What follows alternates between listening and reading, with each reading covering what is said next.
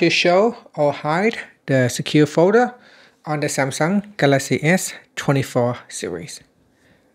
First, let's go back to the home screen by swiping down at the top to open up quick settings. In here, tap on the settings icon. Now we scroll down and tap on security and privacy.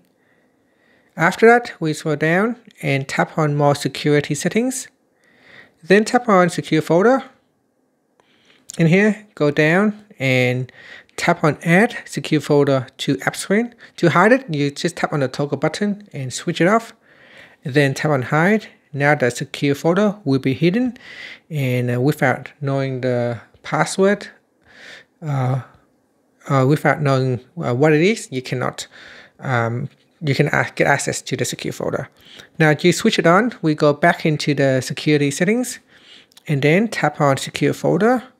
You need to enter the pin before you can go into the secure folder settings menu. Then in here, we can tap on the add secure folder to app screen. Tap on the toggle button to switch it back on. Once it is turned on, you can now find your secure folder in the app screen. And that's it. That is how you can show or hide the secure folder on the Samsung Galaxy S24 series.